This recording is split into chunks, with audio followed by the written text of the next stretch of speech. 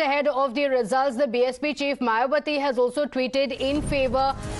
She has tweeted in the all-party meeting today before the winter session of Parliament. The BSP has again demanded the government to conduct a caste census in the country. The central government must take immediate positive steps in this regard. That's a tweet that has come in from her. My colleague Aishwarya Jain joining us on the broadcast with the details. Aishwarya, the demand has come in from the Congress. In fact, the Congress party has also made this poll promise. Whether that cut size with the voters or not will be known tomorrow. But the BSP also making a similar demand asking the central government to conduct a caste census.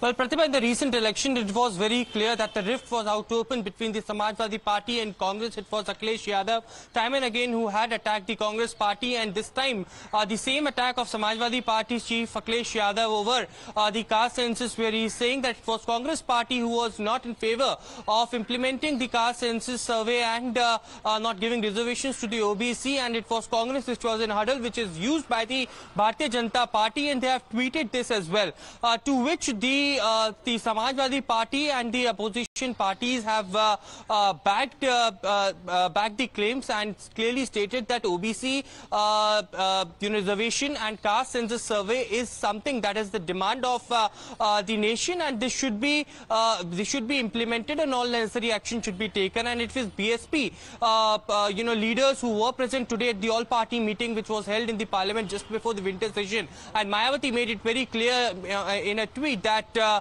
uh, it was BSP in the all-party meeting who had uh, asked the uh, government to immediately take all the measures to implement the to, to, to begin the caste census survey, and that will help you know the country to to decide the future course of action as far as reservations are concerned. On the other side, it was Rahul Gandhi and Congress leaders who have time and again in the uh, House of the Parliament as well outside during the election campaign as well uh, clearly stated that they will implement the caste census and they will do the caste census if they win uh, the elections, uh, eh, particularly in Rajasthan, Madhya Pradesh, Chhattisgarh and Telangana as well, where they were fighting. But the exit poll clearly predicts that it had not gone much into the favor of uh, uh the Congress party. The caste census card had not played very well. It is uh, the, uh, the, the Prime Minister who had been given a, a, a huge mandate as far as the OBC is concerned. The exit poll clearly predicts that OBC are in the favor of giving votes to the BJP and under the leadership of Prime Minister Narendra Modi. But certainly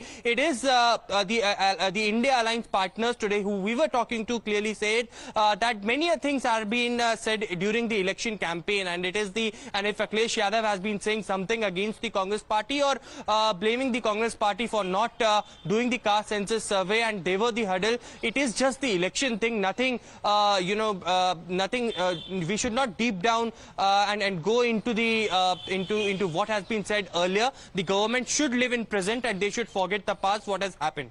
Okay, all right. Shreya, thank you for joining us with those details. Clearly, this could be the one of the biggest talking points ahead of the 2024 elections as well. We're keeping a track of that. Quick break.